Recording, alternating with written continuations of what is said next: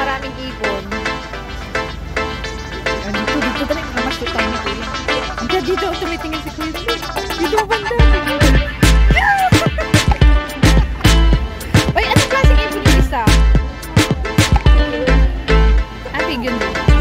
Klaseng ibon.